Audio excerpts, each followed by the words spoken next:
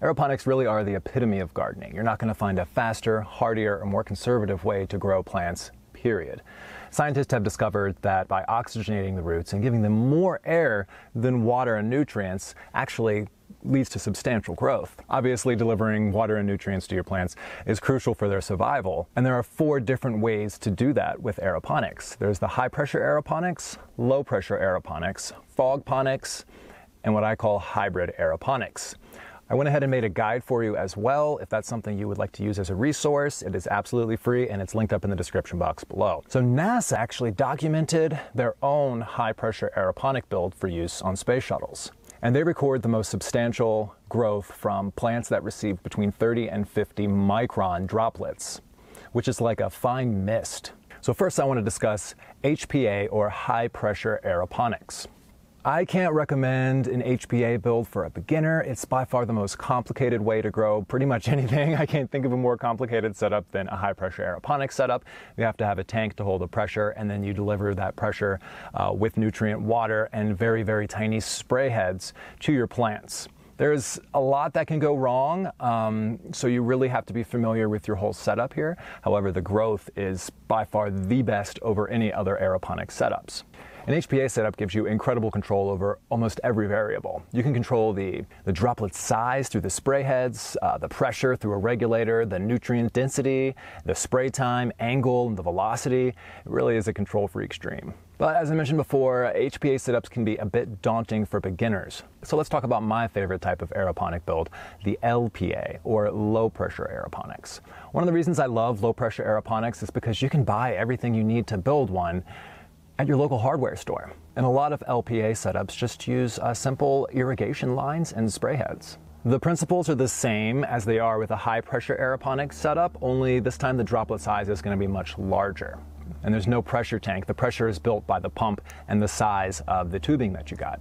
Now with both HPA and LPA setups, you'll need to use a highly dissolvable nutrient solution because one of the main issues you can run into is clogged heads. This happens a lot more with HPA builds, but essentially what happens is larger particulates of the nutrients get stuck in the head, they build up and they clog your head, which is no longer able to spray your plants, which is a huge problem, right? This is definitely less likely in an LPA build, but still something you need to be very aware of. Think about it like uh, one of those adjustable spray bottles. You know, HPA would be if you have it all the way tightened and it's just a very fine mist coming out. An LPA build would be like if you loosened it like halfway and it's just spraying droplets at your plants. They're gonna get much more wet. And a general principle with all aeroponic builds is I like to run them about 15 minutes every hour. Now this is up to you and I invite you to experiment with different time variables. The less, the better, but obviously you don't want your roots to completely dry out. If you built your garden properly and it's nice and sealed, then the internal moisture should allow your plant to stay uh, nice and moist so it doesn't dry out. So now let's talk fog ponics. Fog ponics is super cool. Uh, however, the ultrasonic fogger has a ceramic plate on top that vibrates at a very high frequency, and that's actually what creates your fog. And these foggers I've noticed are very unpredictable. Um, they break pretty easily, and if they break when you're not aware, then you could kill your whole entire garden. I built several fog ponics setup, and there are two different types of fog ponics. They're what I call the cloner style fog ponics and the moving air style fog ponics. First, let's talk about the cloner style fog ponics. I call it cloner style because if you buy a cloner, um, even just off of Amazon, it usually has a fogger built into it. So the principles there are just going to be uh, the nutrient water on the bottom. The fogger is going to be floating on top of the nutrient water and filling all of that space between the top of the water and your plant with fog.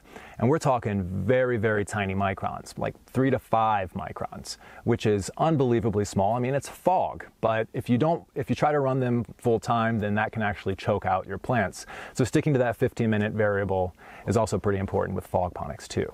The cloner style would be akin to uh, like a DWC setup or a deep water culture with just a fogger floating on top. In fact, I made this video, uh, which is called uh, creating my DWC fog ponic setup. So the other style of fog ponics is moving air fog ponics.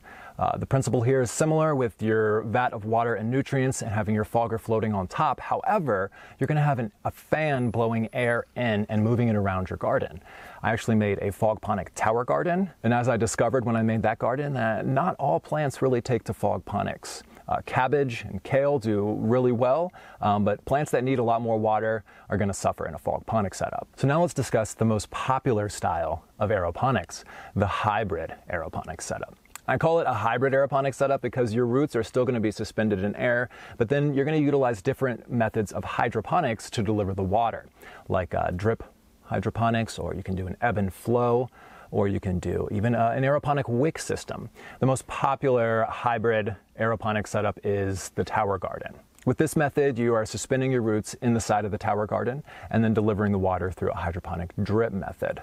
You're not going to get the substantial, insane growth that you would from like an HPA build. It'll be similar to what you get through a low pressure aeroponic, but the maintenance is phenomenal on these. You really don't have to worry about your plants at all. Now, one thing to note with your hybrid aeroponic setup is your plants are going to get really wet really fast. So I would actually experiment with adjusting the timer on your pump. You could even take it all the way down to five minutes every hour because once the roots are saturated, that's really all they need for that hour until the next soaking. I love the hybrid aeroponic setups because they're easy. You can already use the principles that you learned from hydroponics and just suspend your roots in air and deliver water that way. It's very plain and simple and there's a reason that they're so popular. Aeroponics really is the future of hydroponics and hydroponics really is the future of farming. Uh, so I invite you to try different aeroponic setups, report back what your findings are. Let me know in the description box below which build you're going to be trying or have already tried, and if you've had success or failure. I love to learn about it, and we all love to grow together. So let's keep growing.